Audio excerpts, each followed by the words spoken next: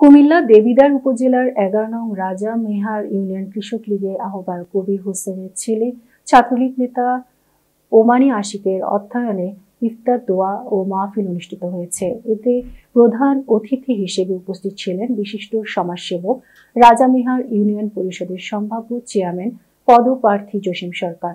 বিশেষ অতিথি হিসেবে উপস্থিত ছিলেন সাবেক ব্যাংক কর্মকর্তা জাকির খান জুরানপুর কলেজের ইংরেজি বিভাগের সহকারী অধ্যাপক কামাল হোসেন, সাংবাদিক নজির আহমেদ, ইউপি সদস্য আব্দুল আজিজ, আওয়ামী লীগ নেতা নুরুল ইসলাম জিলার তিন নং ওয়ার্ড তাঁতি লীগ সভাপতি ফজলু মিয়া। বাংলাদেশ সহ সারা বিশ্বের মহামারী করোনা ভাইরাস থেকে মুক্তি চেয়ে মহান রাব্বুল আলামিনের দরবারে মোনাজাত পরিচালনা করেন রাজা মিহার ইসলামিয়া কামিল মাদ্রাসার ভারপ্রাপ্ত অধ্যক্ষ মাওলানা আব্দুল কায়ুম মীর।